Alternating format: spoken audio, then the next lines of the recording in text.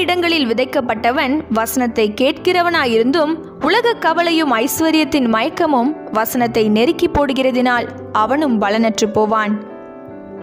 மத்தேயு பதிமூன்றாம் அதிகாரம் வசனம் இருபத்தி இரண்டு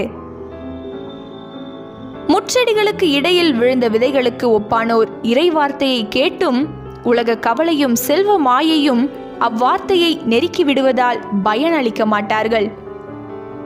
மத்தேயு நற்செய்தி பதிமூன்றாம் அதிகாரம் வசனம் இருபத்தி இரண்டு The seed falling among the thorns refers to someone who hears the word, but the worries of this life and the deceitfulness of wealth choke the word, making it unfruitful. Matthew chapter 13, verse 22.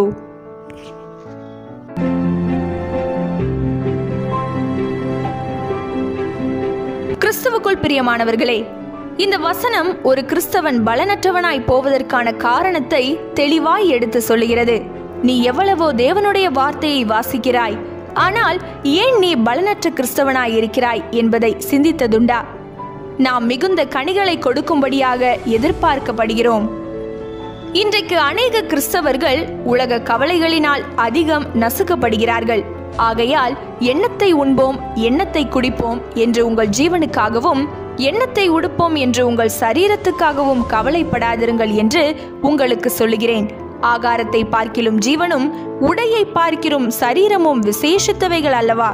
நம்முடைய வாழ்க்கைக்காக எதிர்காலங்களுக்காக திட்டமிடுவது தவறில்லை.